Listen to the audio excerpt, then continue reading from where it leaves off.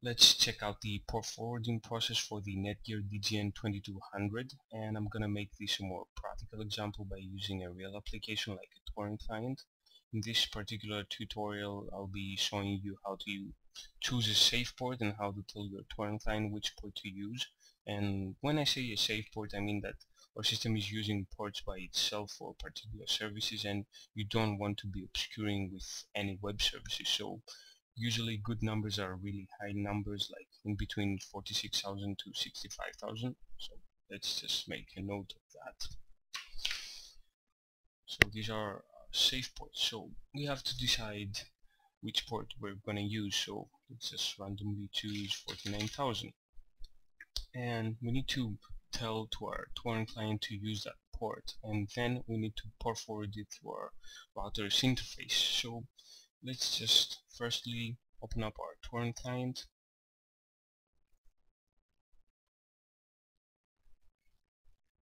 And you will see this yellow icon down here. It says no direct connection. This may indicate network configuration problems. And it actually does mean that because you will see here on our options and connections tab that it uses a randomly selected port. It's 7083 and you can see the options either from the options button or tools and under the tools there's the options button. And you will see that this icon remains yellow no matter how much time passes no matter that we have some uh, torrents already sitting but we have no connections. So first thing you need to do is just exit your torrent client and run our very good friend the pf port checker tool. And right click on it and run as administrator best thing you do. And you will see here that I have selected the 49000 port the one we need to check and I'm gonna check it for both protocols TCP and UDP and just click the check me button. And most likely I'm gonna just see the same result in both the tests that our port is not open. As you see over here I'm gonna run it for the UDP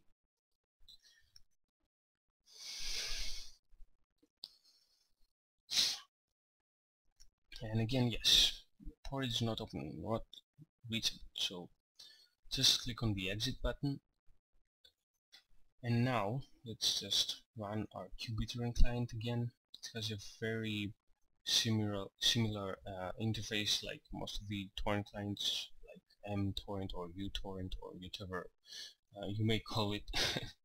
And let's just click on our, on our options button. And let's go in the connection tab. And we're gonna tell our qBittorrent to use the 49,000 port so I'm gonna type in port and just click apply and then OK.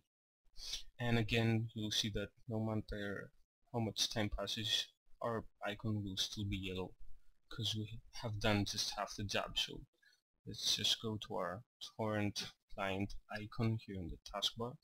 Right click on it and hit exit again and the first thing we need to do is we want to go into our router's interface and you can see that underneath the Netgear DGN 2200 there is a small you know uh, subscription that says your default IP uh, address and if you're not sure about the numbers or your router is pretty old or you know it's uh, you know crossover or something like that or you can find your manual and stuff like that. Just click on your Windows button click CMD and just type in ipconfig and you will see here that in my case my Ethernet double local connection has an IP address of 192.168.0.100 and that's my own IP I'm gonna make a note of that like my IP 192.168.0.100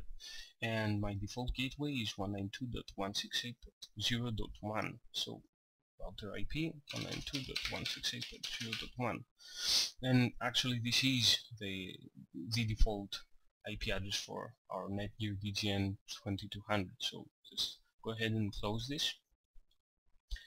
And let's open up our browser oh our channel. Anyway open up a new tab and type in 192.168.0.1 just click uh, hit the enter button and you will see here that it prompts you to uh, type in your username and password. The default username and password of the Netgear DGN2200 is username admin and password is password as funny as it sounds. So I've uh, already you know typed in and I'm gonna click OK or log in on or everything else it just prompts you to do.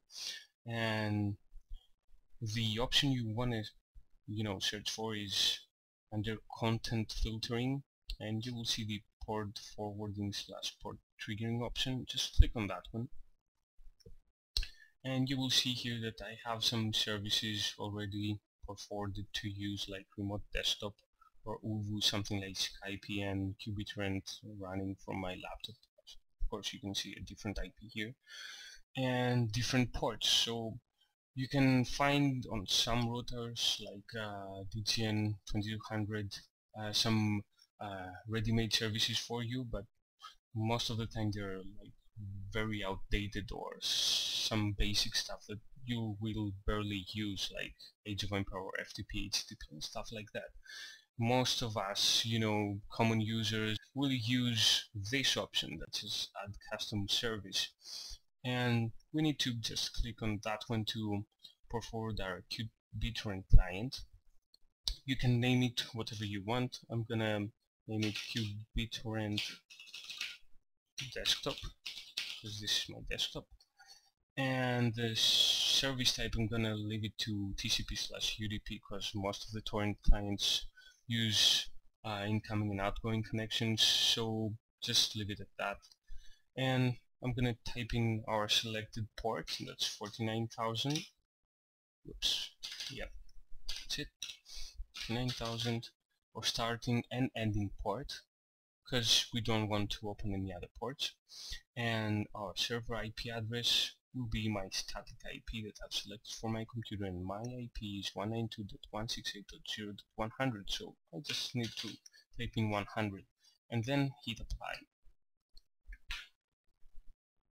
So basically after this process you're good to go and as you can see I don't have any errors just you know got back to my previous page it says that I'm using 49,000 port for this service on this IP so in order to check if this actually works let's log out and X minimize or close your browser whatever you want.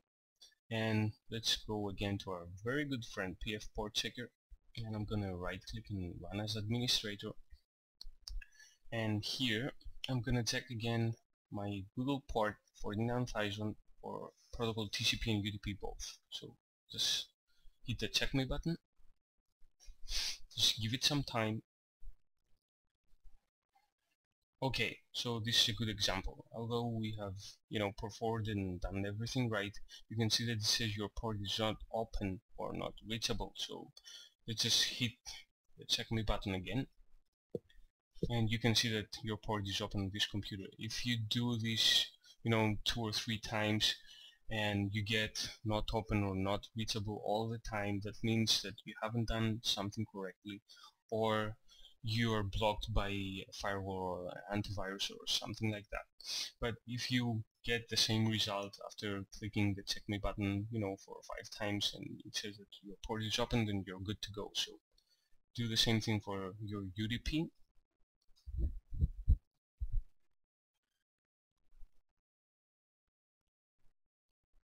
and it says my port is open. Just run it a couple of times just to make sure. Okay so I guess we're good to go. Just click on the X button. And the next thing we're gonna check is our torrent client. So I'm gonna fire up qBittorrent again. And let's see. Yep we got our torrent active and oh yeah we got this status icon going green and it says connection status online. So basically I can upload and download without any problems and that's it people